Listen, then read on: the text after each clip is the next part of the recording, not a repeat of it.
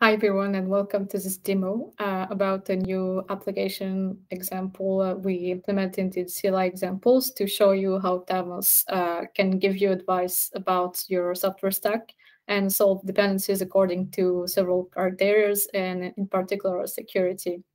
Uh, so if you wish to do this demo yourself, you can clone the um, .station.cli repository and follows instruction in the README file.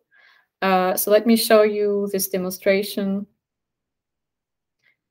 Uh, okay, so here we are. We have um, a game of life application that we implemented that and that requires uh, some dependencies like Pillow, for example, which is um, a library for Python. Python uh, and that will allow that allows you to process images and do many things related to the images. So, for example, here we will um, use it to, take screenshot of our game uh, at a given moment.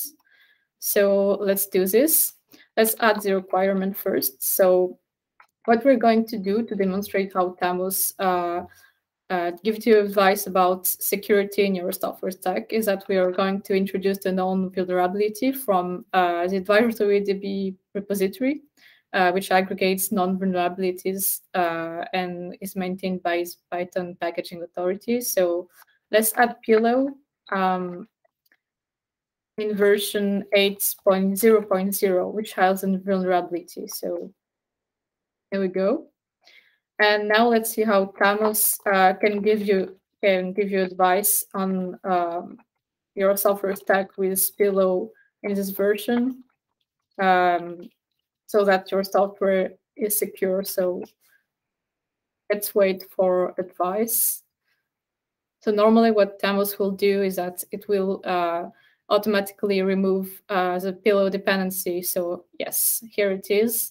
Uh, so he found the vulnerability uh, with the correct record numbers, and now you can't uh, install this version of Pillow. So what we're going to do in order to be able to run the game is that we are going to install the latest version, which has uh, no known vulnerabilities, so 8.4.0. Then do Thamos advice again with the same recommendation type, so security. Once again. And now we can see that the, dash dashboard doesn't show um, any sign of vulnerability. So your application is okay to go. Uh, you can now execute it. So we'll go uh, run Thamos run uh, game of life. And now you can, you can simply play the game. So select your individuals by clicking on the screen. So now you have a first generation of individuals, for example. Uh, and you can play the game simply by pressing the P key on your keyboard and take screenshots with the S key. So here Pillow took a screenshot, so it has been installed by Thamos. And now you can exit the game.